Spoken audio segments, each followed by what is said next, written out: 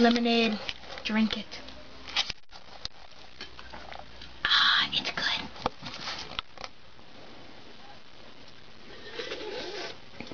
Lemonade. The perfect source source of lemons. okay,